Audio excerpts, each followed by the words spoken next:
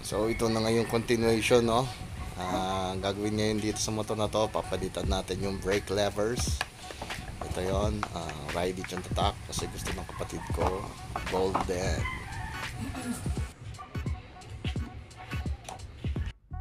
Itong side mirror, pininturahan ng utol ng kulay puti eh. Kaya lang bumili din yung utol kong babae ng bago side mirrors. Ah, chrome naman to, pero wag muna natin kakabit.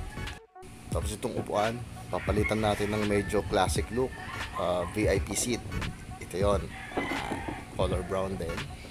So yung design niya pang classic. So classic na classic na siya. Pero syempre bago tayo magsimula please press like and subscribe to my channel kung bago ka lang dito. And press the notification bell for updated videos. Maraming salamat po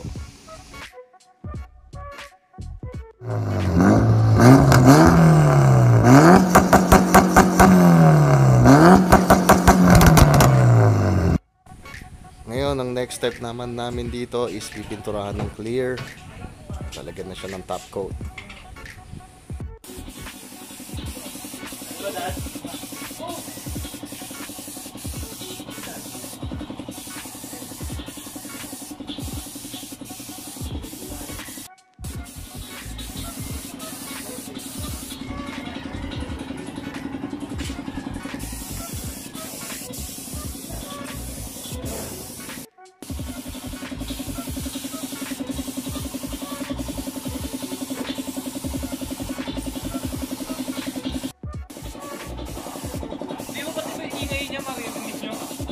Paina ng paina. So yan, pinapatuyo lang na konti. Pero ang gagawin dito, ah, itong patong ng top coat gagawin dyan para malalim na malalim yung clear niya. So after malagyan ng top coat lahat ng gold, ito naman isusunod yung mga putong parts. Lalagyan din ng top coat. Siyempre, para hindi sayang effort natin, ansa lang gagamitin natin.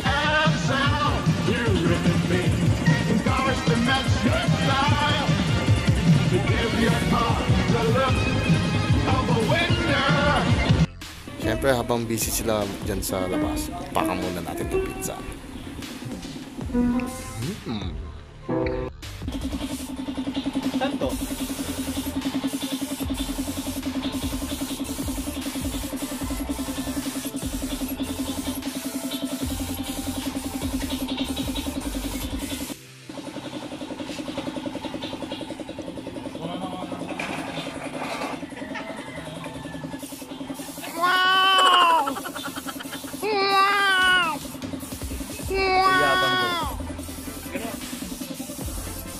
lips.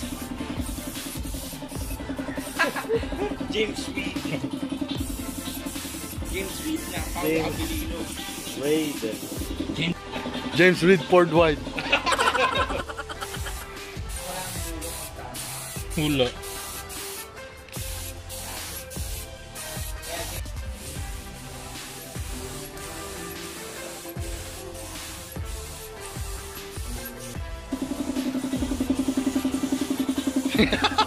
Ah, sa mata eh. Punga eh.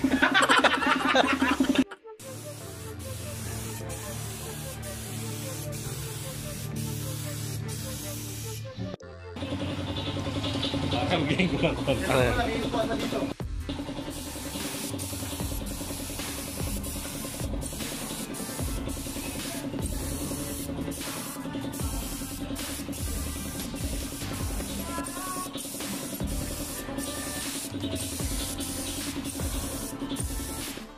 konti. Ano yan? So tuyo na yung mga fairings niya, ikakabit na namin isa-isa.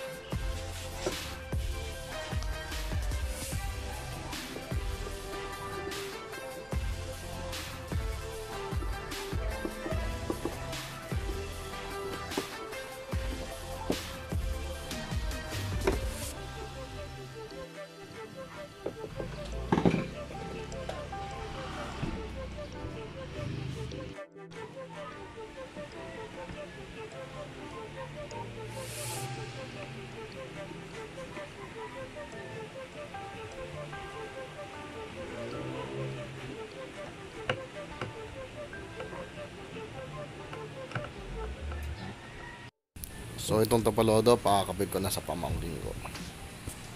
Let's go.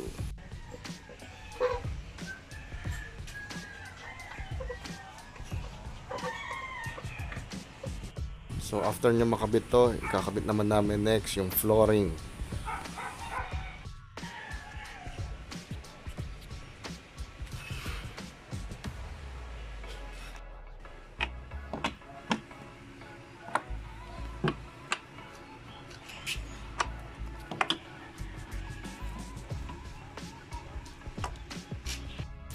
Tatanggalin na muna namin tong stock seat para mamaya pwede na namin ikabit yung VIP seat.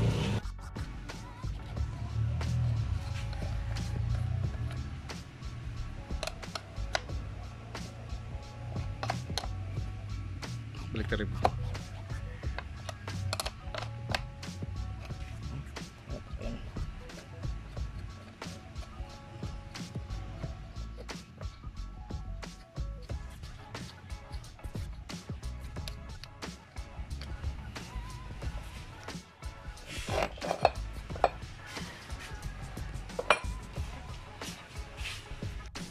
Kabit muna natin tong taillight dito kasi kakabit na natin ito mamaya.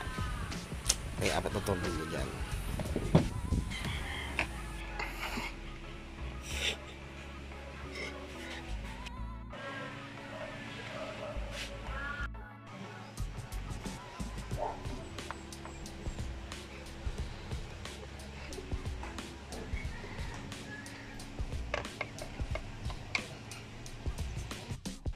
Nakakabit na po. Kakabit na namin doon. Ready.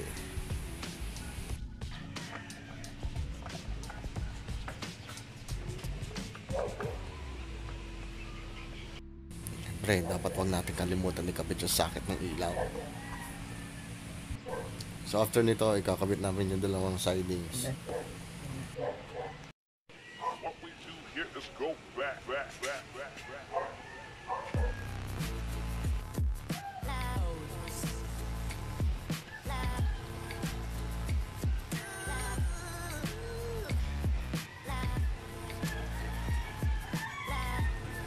So nakabit na namin no, pero babaklasin ulit namin kasi may nakalimutan kami ikabit. Ito, wala yung susuyan. Kakabit namin ulit. So babaklasin namin ulit. Very good. So yun na nga no. Ah, nakabit na namin. Hindi ko na binidyo yung pagtanggal namin kasi medyo nakakasar yun. So yan, nakakabit na siya. Magic. So after namin makabit to, isusunod na namin yung VIP seat.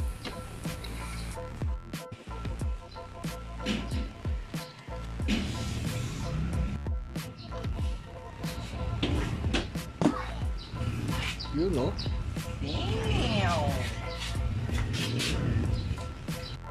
Next, brake levers.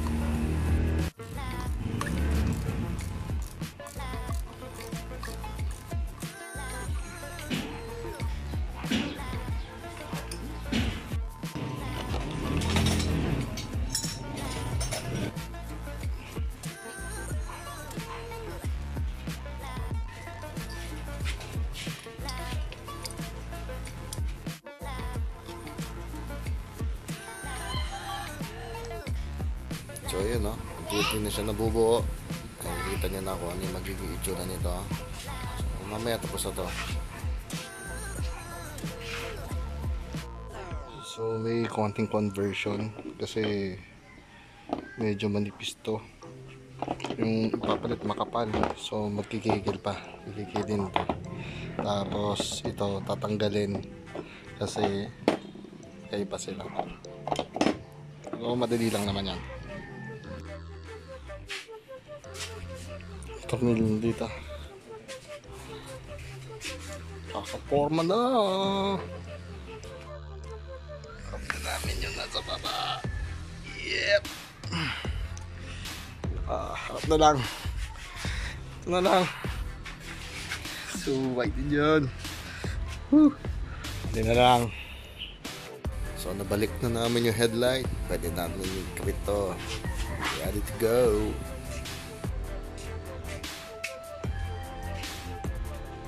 Muntik na naman namin makalimutan to. eh. Kabit muna namin to. So, kakabit na lang yung mga screws to. Tapos, tapos na. Pwede na ilabas mamaya.